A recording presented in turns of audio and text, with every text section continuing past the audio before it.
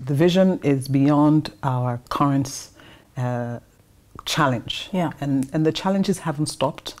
They've just evolved. Sometimes they've even gotten bigger, uh, but also it means that we also have capacity to, to handle more. Uh, as we stretch and as we grow, and that's what growth also does for you. Uh, but we've we, have we have kept our eyes on our vision, you know, as opposed to being distracted by the challenges. Otherwise, you get consumed by the challenges Yeah. and miss out on your focus and your goal. And you got a good team. I Mm. mean, I was privileged to have a session with them mm. on leadership, mm.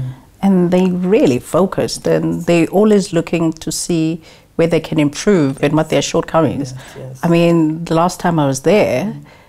you know, I thought how rude. As I'm talking to them, next thing they diverted, Yes. and I'm like, well, what's happening? Should I leave the room? They're like, no, you you hit it on the head. So we have to have this conversation before yes, you go. Yes, you know, yes, it's like yes, we understand where we're going wrong. yes, yes. Gee, I hardly meet I, I think, leaders like that. Yeah, I think it's one of the greatest gifts Yes. at House of Tara is our people and a great team who are completely committed to the vision.